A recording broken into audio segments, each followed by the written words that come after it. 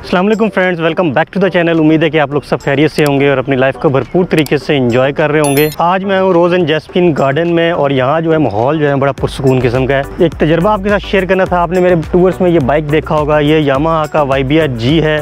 और ये 2020 में मैंने ख़रीदा था। इसको तकरीबन मेरे पास ढाई साल हो चुके हैं और ये इकतीस हज़ार किलोमीटर चल चुका है। इसके साथ मेरा तजर्बा कैसा रहा तो सोचा वो आपके साथ शेयर कर दूँ। यामा से कबल मेरे पास होंडा का ब्रांड था और एक मरतबा मैंने हीरो का सेवेंटी ख़रीदा था, जो उस वक्त सबसे पॉपुलर ब्रांड था सेवेंटी की कैटेगरी में।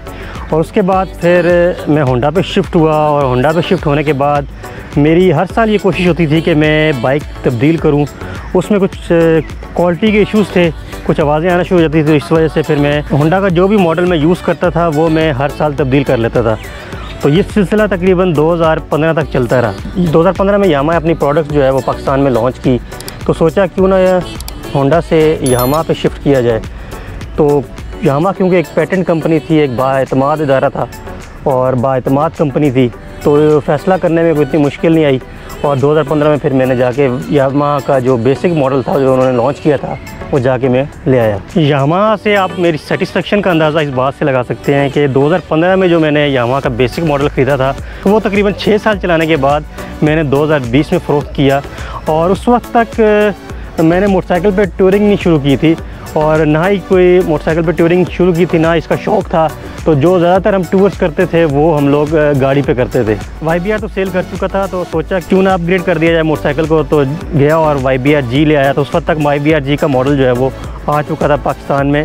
और वो तकरीबन मेरे जो बेसिक मॉडल था, उससे साल, दो साल बाद ही मेरा ख्याल है वाई जी का मॉडल आया था। तो देखने में मुझे पसंद था तो इस वजह से फिर मैंने वाई बी आर जी पर मैं शिफ्ट हुआ और 2020 में मैंने ये वाई बी आर जी लिया और उस वक्त मुझे ये पड़ा था 163 का। वाई बी आर जी तो मैं ले चुका था और वाई बी आर जी लेने के बाद मोटरसाइकिल में जो टूरिंग का जो कीड़ा होता है ना वो मुझे उसने तंग करना शुरू कर दिया।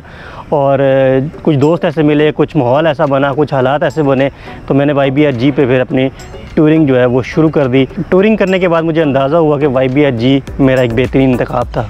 यमा के साथ मेरी लव स्टोरी को तकरीबन सात साल हो चुके हैं, और आज तक मैं यमा के साथ क्यों जुड़ा हूँ, इससे पहले मैं किसी भी ब्रांड के साथ इतना मैंने टाइम स्पेंड नहीं किया जितना मैंने यामा के साथ किया है, और उसकी कुछ वजूहत हैं।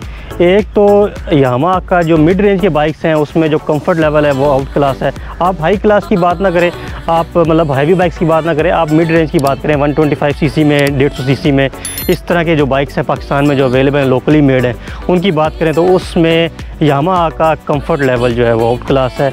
और इसके साथ साथ इसकी जो पार्ट्स की ड्यूरेबिलिटी है वो भी बहुत अच्छी है।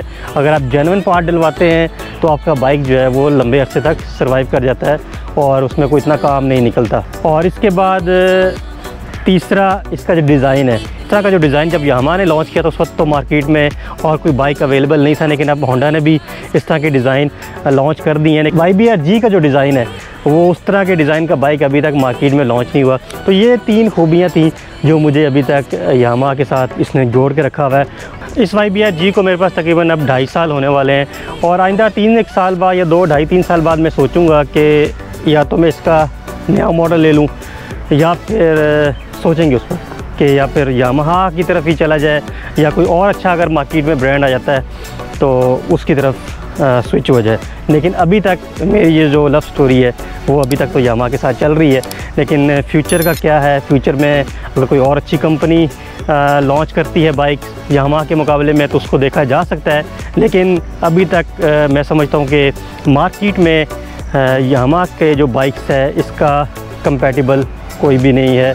और इसकी जो अपीयरेंस है, या इसको आज भी आप रोड पे लेके चलते हैं तो लोग पूछते ज़रूर है यार, सारे पैसे उसी के हैं।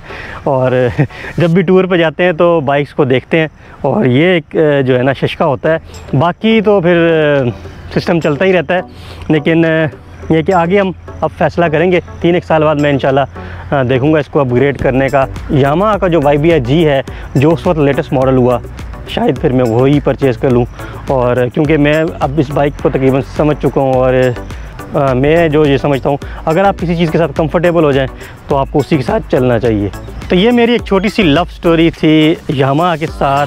अगर आपको ये पसंद आए तो इसको लाइक करें इसको शेयर करें। मेरे चैनल पे आपको बहुत सारी और भी वीडियोस मिलेंगी। मैं ज़्यादा ट्रैवलिंग की वीडियोस बनाता हूँ। बाइक्स के रिलेटेड जो है वीडियोस मैं बहुत कम बनाता हूँ। अपना जो तजर्बा है अपने बाइक के साथ ये आपके साथ शेयर करूँ। अगर आप में से कोई ये बाइक ख़रीदना चाहे तो उसको अंदाज़ा हो जाएगा, यार सात साल का तजर्बा काफ़ी मैटर करता है। और सात साल में इस बाइक ने मुझे मायूस नहीं किया।